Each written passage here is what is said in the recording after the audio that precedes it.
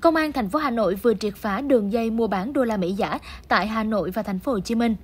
Cảnh sát thu giữ nhiều loại tiền giả như đô la Mỹ, đô la Singapore, tiền Turkmenistan với tổng giá trị quy đổi hơn 13 tỷ đồng.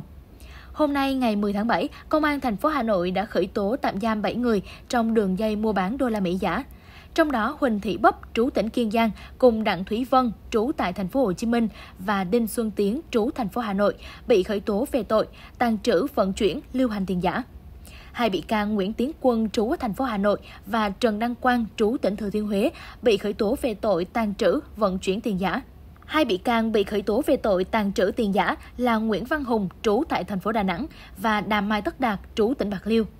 Theo điều tra, ngày 24 tháng 6, tổ công tác công an thành phố Hà Nội phát hiện Đinh Xuân Tiến có hành vi tàng trữ lưu hành 102.300 đô la Mỹ giả, mệnh giá 100 đô la Mỹ.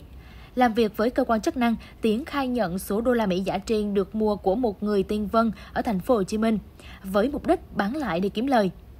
Mở rộng điều tra, cơ quan chức năng bắt giữ Đặng Thị Thúy Vân và các bị can trên, thu giữ nhiều loại tiền ngoại tệ giả như đô la Mỹ, đô la Singapore, tiền Turkmenistan với tổng giá trị quy đổi hơn 13 tỷ đồng.